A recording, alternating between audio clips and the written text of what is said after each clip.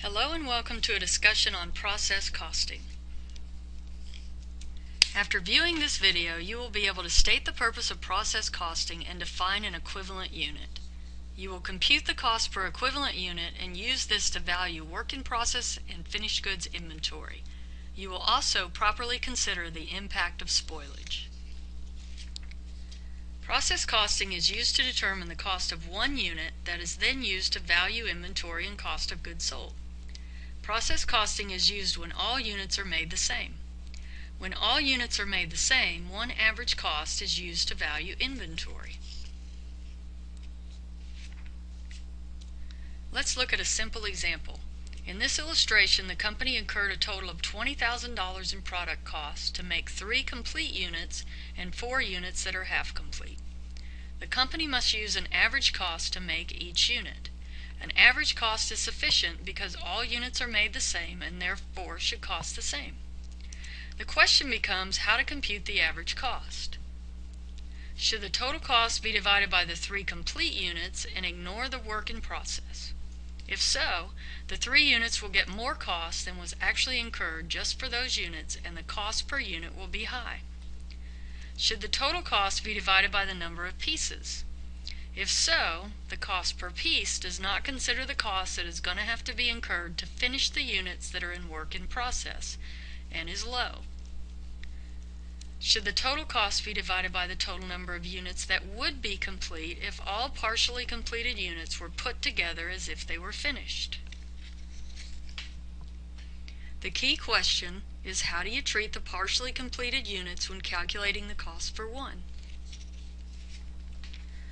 Process costing uses the last scenario and computes a cost per equivalent unit and then values inventory in terms of equivalent units. The three that were finished are added to the two that would be finished if all parts were considered together as whole units to get to five units. In this case, there are five equivalent units, three finished plus the four at 50% to equal two more. A company that mass produces will have partially complete units at the end of the period. The partially complete units must also be considered when determining the average cost of each unit. Partially completed units are converted to total equivalent units. The number of units that would have been produced if all units were totally finished, given the total product costs used during the period, are referred to as equivalent units. Accountants use a common format to compute the amount of equivalent units for each type of product cost. This table computes equivalent units, however, quantities begin with full units. The top part accounts for all the units that were part of the manufacturing process during the period.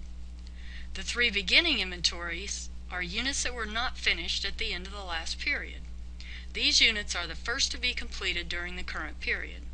The 33 units started in production is added to the beginning units to get the total units of 36 to be accounted for during this period. The bottom part shows what happened to the 36 units in the current period. The total output units is equal to the total input units of 36. Beginning inventory is the same quantity for the top input portion and the bottom output portion because they are the same units. Beginning inventory is finished first before other units are started. The 33 units started during the period were either started and finished this period or are not yet finished and still on the production line at the end of the period. The beginning inventory that is finished first and started and completed units are moved to finished goods and valued as finished goods. Ending inventory that is on the production line is valued as work in process. The quantities on the left are full units. Management estimates how far along in the process the beginning and ending units are at the end of the period, and equivalent units are valued using the percent that was completed during the period. Multiply the number of full units on the left by the percent complete to get the equivalent units of work for the period for this part of the schedule. Started and completed are always 100% finished in the current period. There are two methods of process costing, weighted average and FIFO. Weighted average assumes that all beginning inventory was all completed during the current period and always uses 100% for the beginning inventory equivalent units. FIFO uses the percent of the work that was done only during the current period. We will discuss the two methods further in a few minutes. Total product costs are divided by the equivalent units for each category of product cost to get a cost per equivalent unit. This is multiplied by equivalent units to value inventory at the end of the period. The cost of inventory on the production line and the cost added during the period are included in the cost of inventory when using the weighted average method. The cost of materials is added to the cost of conversion, which is direct labor and manufacturing overhead, to get a total cost per equivalent unit of 11,147. This cost per unit is used to value inventory.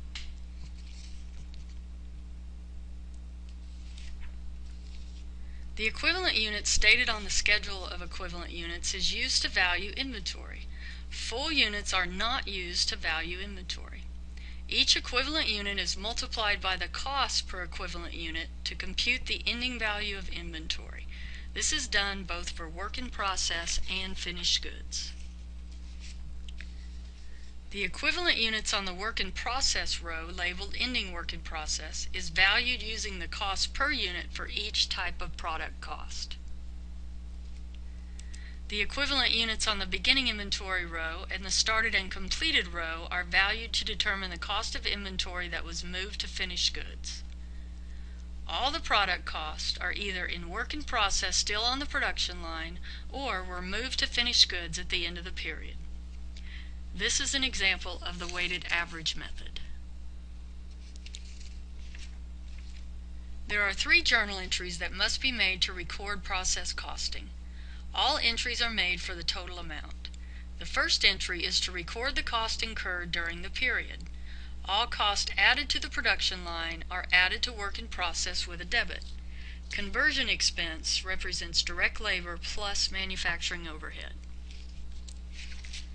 The second entry records the cost of the units that are completed and moved to finished goods. This cost is computed when finished goods is valued. The value of finished goods is added to the finished goods account and removed from work in process. The last entry is to remove the bad products from work in process.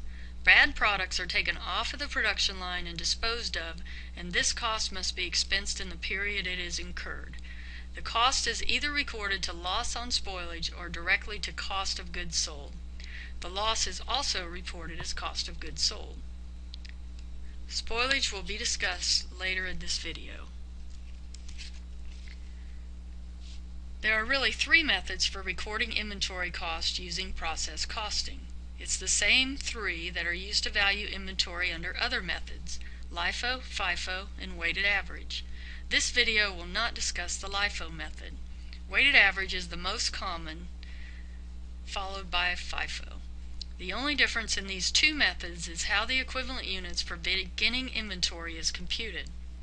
Weighted average assumes all work done on beginning inventory is done in the current period and equivalent units is always 100% of full units. FIFO counts only the percentage of work done during the current period. Weighted average is used when the cost from one period to the next is fairly consistent. FIFO is used when the cost from one period to the next generally fluctuates. The cost per unit is computed differently for weighted average and for FIFO. Weighted average includes the beginning inventory dollars in the total cost because it includes 100% of the units. FIFO does not include beginning inventory cost in the cost per unit and later adds the total beginning inventory dollars to the cost of finished goods.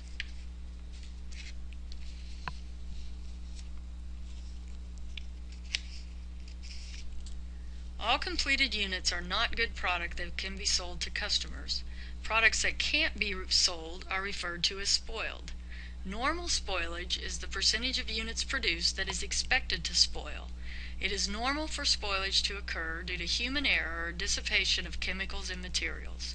The cost of normal spoilage is considered to be an expected cost of producing good units. Abnormal spoilage is spoilage greater than what was expected. This cost is not considered an expected cost of producing good units and therefore it must be expensed in the period it is incurred. The type of manufacturing process determines how a company must account for the cost of spoilage. A continuous process cannot be stopped without spoiling all the goods in the process. Continuous processing is generally used for food products or medical drugs. There is no planned inspection point. A discrete process has obvious points in the process where production can be stopped and inspected. Discrete processing is normally used for products that are manufactured in stages and there is a planned inspection point. The combination of normal or abnormal and continuous or discrete determines how the cost of spoilage is accounted for. If it is normal and continuous, a zero is always used for equivalent units. Putting a zero in the spoilage row gives a lower total of equivalent units and a lower equivalent units divided into the cost gives a higher cost per equivalent unit. A higher cost per equivalent unit spreads the cost of spoilage to all the good units. This is okay because it is considered to be a cost of producing good units. All other combinations use the percent complete when the bad product is discovered. Bad products are usually discovered at an, at an inspection point.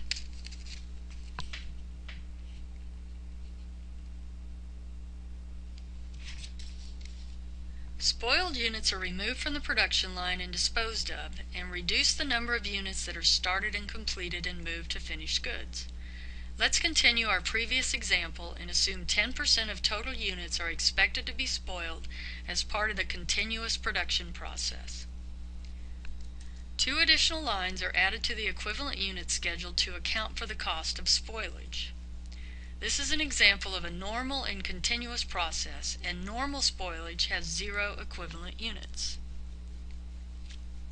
Total spoilage is 4, and the one unit higher than normal spoilage is assigned to abnormal spoilage. The bad units were discovered at the end of the process and therefore 100% of the cost in them are assigned to the equivalent units. Spoilage is accounted for by the two additional lines on the output schedule.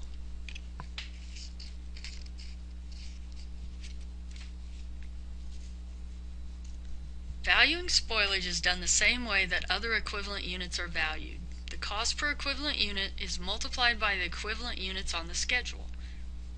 Normal spoilage is added to the cost of finished goods. Abnormal spoilage is expensed in the period it is incurred.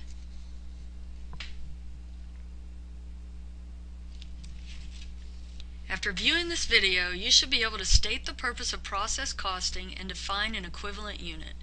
You should be able to compute the cost per equivalent unit and use this to value work in process and finished goods inventory.